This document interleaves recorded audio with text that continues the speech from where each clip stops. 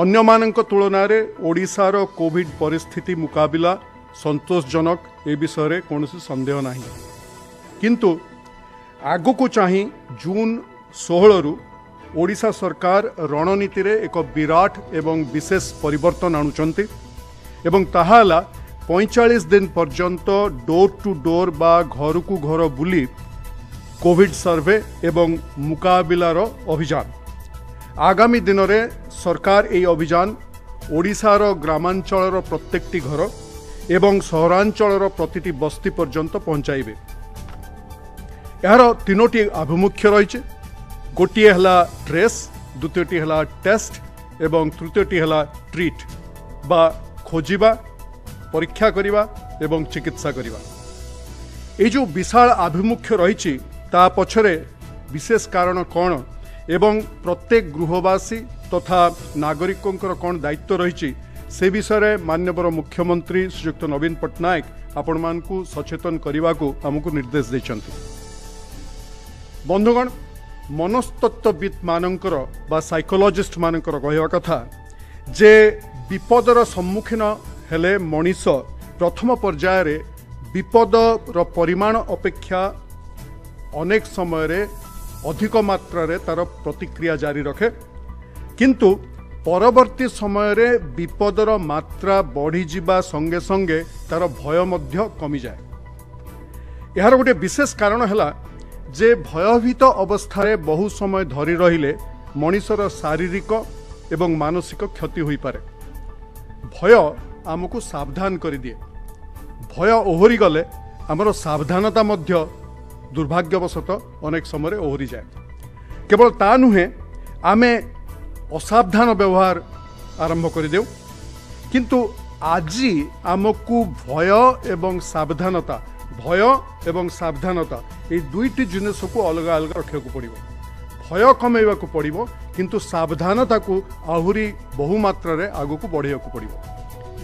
ସାବଧାନତାରେ ସାମାନ୍ୟ ଏପଟ ସେପଟ ଯଦି ହୋଇଯାଏ ତାହେଲେ ଆମକୁ ଭୟଙ୍କର ଭୟାବହ ପରିସ୍ଥିତିର ସାମ୍ନା କରିବାକୁ ପଡ଼ିବ ଏବଂ ଭୟ ଓ ଅସାବଧାନତାର এই ଯେଉଁ ପରିଣାମ ତାର ଦୁଇଟି ଦୃଷ୍ଟାନ୍ତ ମୁଁ ଆପଣମାନଙ୍କ ଆଗରେ ଆଜି ରଖିବାକୁ ଚାହୁଁଛି।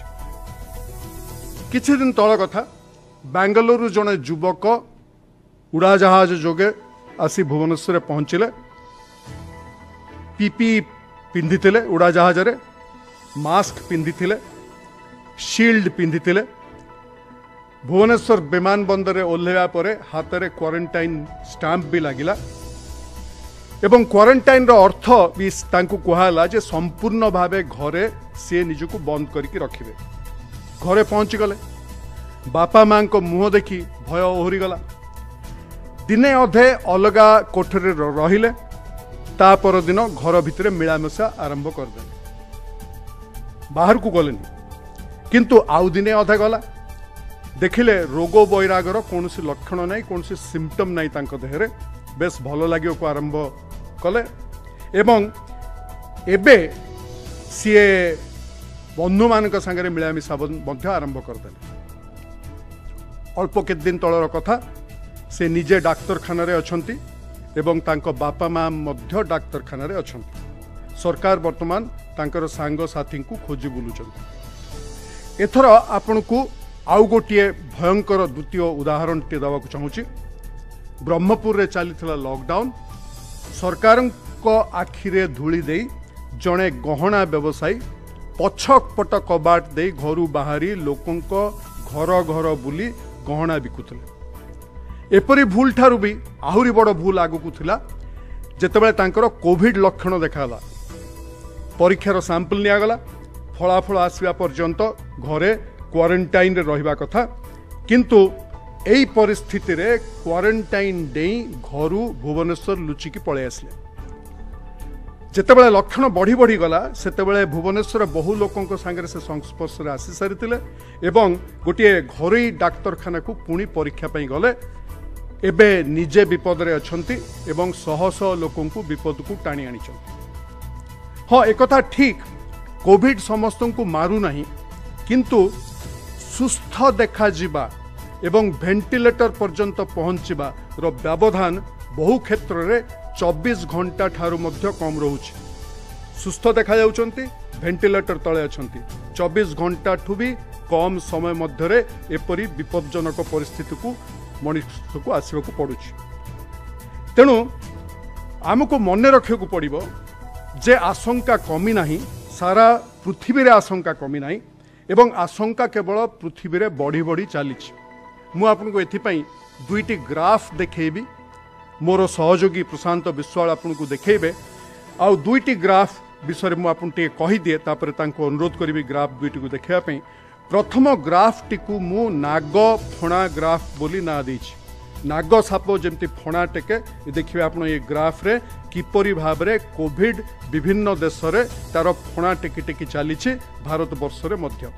ଆଉ ଦ୍ୱିତୀୟ ଗ୍ରାଫ୍ଟି ୟା ପରେ ଆମେ ଦେଖିବା ଯାହାକୁ ମୁଁ ବସନ୍ତ ଦାଗ ଗ୍ରାଫ୍ ବୋଲି କହେ। କିନ୍ତୁ ସେଇ ଗ୍ରାଫ୍ଟିକୁ ଆପଣଙ୍କୁ ଦେଖା ଆଗରୁ ଟିକେ ନାଗ ଫଣା ଗ୍ରାଫ୍ଟିକୁ ଥରଟିଏ ଦେଖିବା।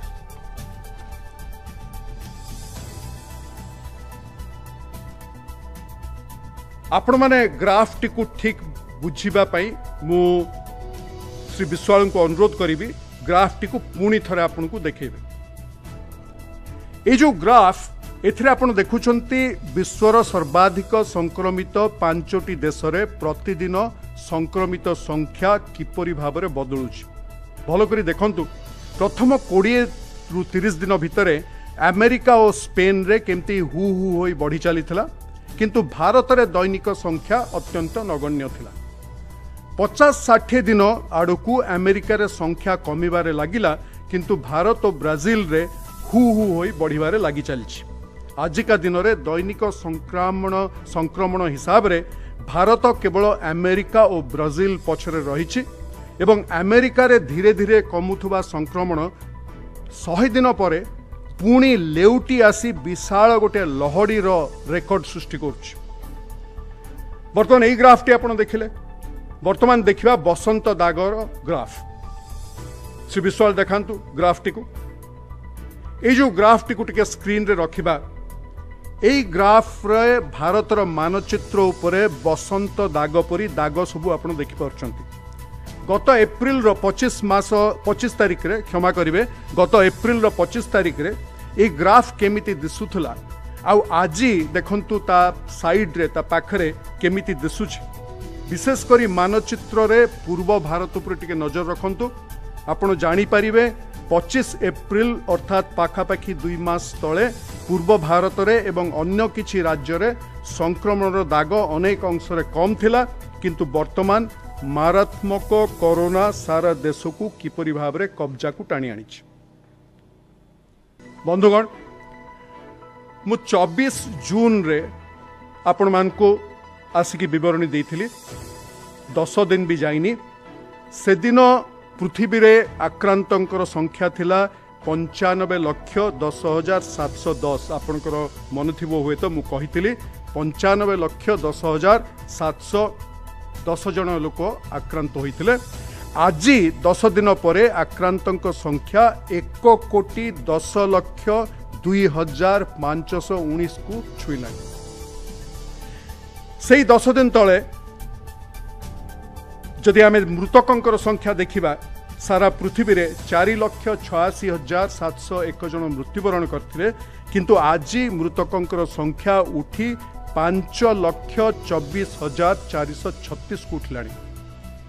ଆଉ ସେଇଦିନ ଦଶ ଦିନ ତଳେ ଭାରତରେ ସଂକ୍ରମିତ ଥିଲେ ଚାରି ଲକ୍ଷ ବାସ୍ତରୀ ହଜାର ନଅଶହ ପଞ୍ଚାଅଶୀ ଜଣ।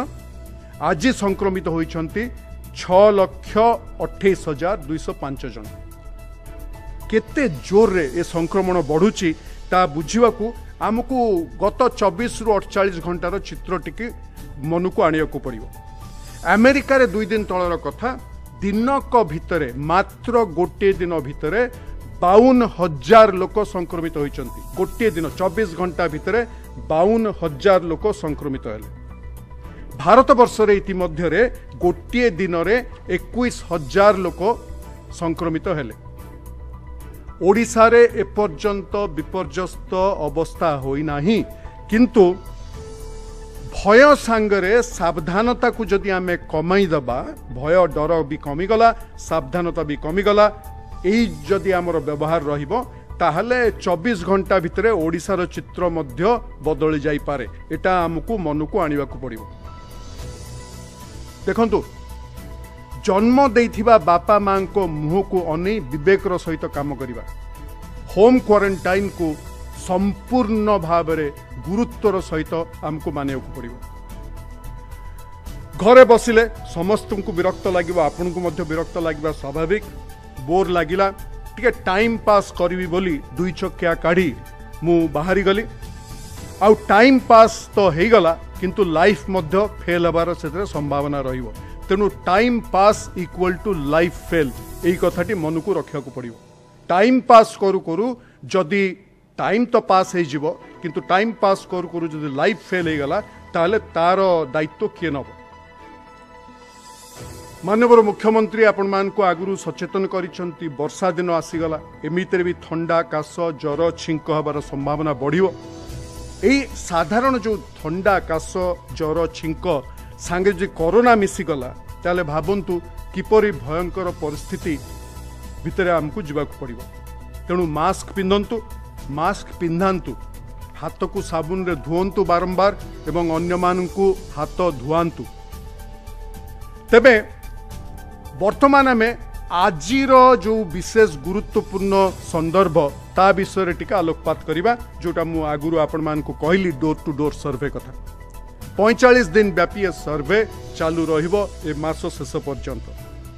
ଏଇ ଯେଉଁ ଅଭିଯାନ ଡୋର୍ ଟୁ ଡୋର୍ ସର୍ଭେ ଅଭିଯାନ ଯେଉଁଟା ପ୍ରତିଟି ଗ୍ରାମ ଅଞ୍ଚଳର ପ୍ରତିଟି ଗୃହ ପର୍ଯ୍ୟନ୍ତ ଯିବ ଏବଂ ପ୍ରତିଟି ସହରର ଯେଉଁମାନେ ଆମର ସହରାଞ୍ଚଳରେ ଯେଉଁ ଆମର ସ୍ଲମ୍ ଏରିଆ ଗୁଡ଼ିକ ରହିଛି ସେଗୁଡ଼ିକୁ ଆମେ କମ୍ପ୍ଲିଟଲି ଶତ ପ୍ରତିଶତ ଭାବରେ ତାକୁ କଭର କରିବୁ। ଏଇ ଯେଉଁ ପଇଁଚାଳିଶ ଦିନ ଭିତରେ କ'ଣ ହେବ?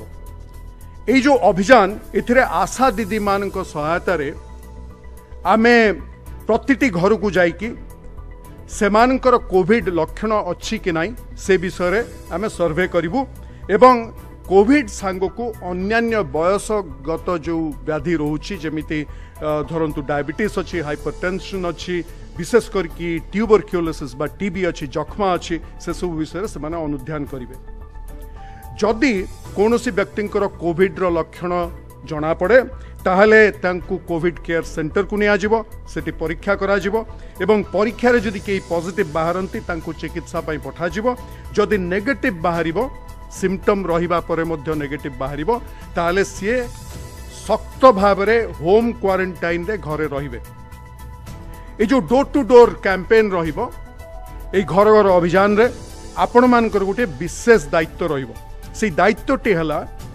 ଲକ୍ଷଣ ଯଦି ଥାଏ ତାକୁ ଲୁଚାଇବେ ନାହିଁ ନାଇଁ ନାଇଁ ମୋର କିଛି ହୋଇନାହିଁ ବା ଆମ ଘରେ ସମସ୍ତେ ଭଲ ଅଛନ୍ତି କହିଦେବେ ନାହିଁ ଆଶା ଦିଦିଙ୍କୁ। ଏବଂ ଆମେ ଆଉ ଗୋଟେ ଜିନିଷ ଲକ୍ଷ୍ୟ କରିଛୁ ଗୋଟେ ଅଧେ ଜାଗାରେ। ଆଶା ଦିଦି ଆସିବା ଆଗରୁ ଜ୍ୱର ଥିବା ବେଳେ ଜଲ୍ଦି ଜଲ୍ଦି କେମିତି ପାରାସିଟାମଲ୍ ପାଟିରେ ପକାଇ ଦେଇ ଜ୍ୱର ଟିକେ କମିଯିବ।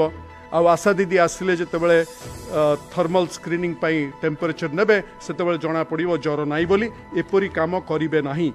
ମନେ ରଖିବେ ଯେ ଲକ୍ଷଣ ନଥିବା ଏବଂ ମୃତ୍ୟୁବରଣ କରିବାର ଯେଉଁ ସୀମାଟା ରହୁଛି ବର୍ତ୍ତମାନ ଚବିଶ ଘଣ୍ଟାକୁ ବହୁତ ଜାଗାରେ ଓହ୍ଲେଇ ଆସିଲାଣି।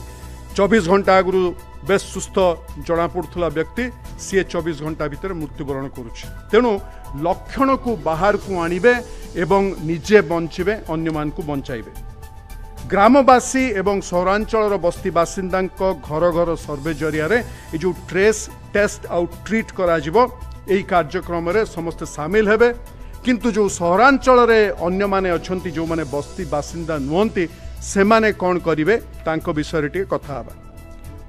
ସେମାନେ ନିଜର ସାମାନ୍ୟତମ ସିମ୍ପଟମ୍ ବା ଲକ୍ଷଣ ଦେଖିବା ମାତ୍ରେ ନିଜକୁ କ୍ୱାରେଣ୍ଟାଇନ୍ରେ ରଖିବେ।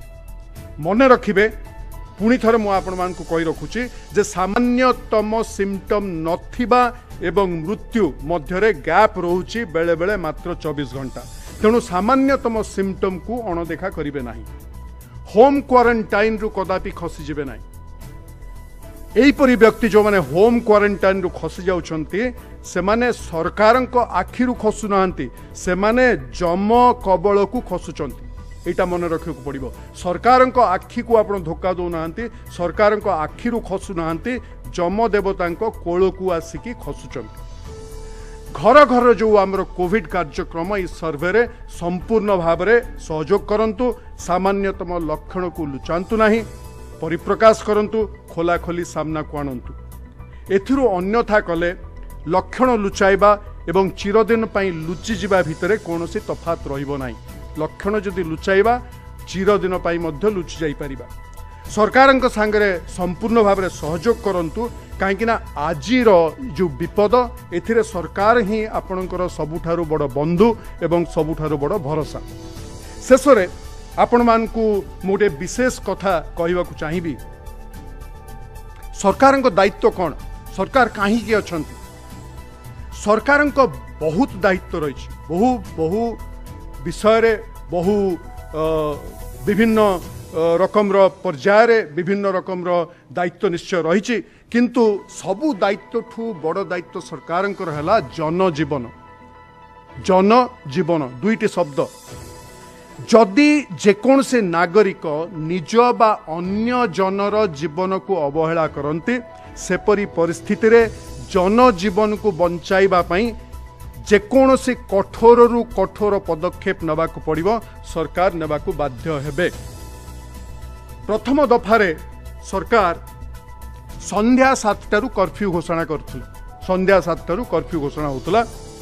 ସନ୍ଧ୍ୟା ପାଞ୍ଚଟାରୁ ଦୋକାନ ବଜାର ଆଗରେ ବାଲିଯାତ୍ରା ଭିଡ଼ ଲାଗିବାକୁ ଆରମ୍ଭ କଲା ସାତଟା ବେଳେ କର୍ଫ୍ୟୁ ପାଞ୍ଚଟା ବେଳେ ବାଲିଯାତ୍ରା ଲୋକ ଅସୁବିଧାରେ ପଡ଼ିବେନି ବୋଲି ସରକାର ଏଇ ଯେଉଁ ସାତଟାର କର୍ଫ୍ୟୁ ଥିଲା ତାକୁ ଘୁଞ୍ଚେଇକି ନଅଟାର କର୍ଫ୍ୟୁ କଲେ। ବର୍ତ୍ତମାନ କ'ଣ ହେଉଛି?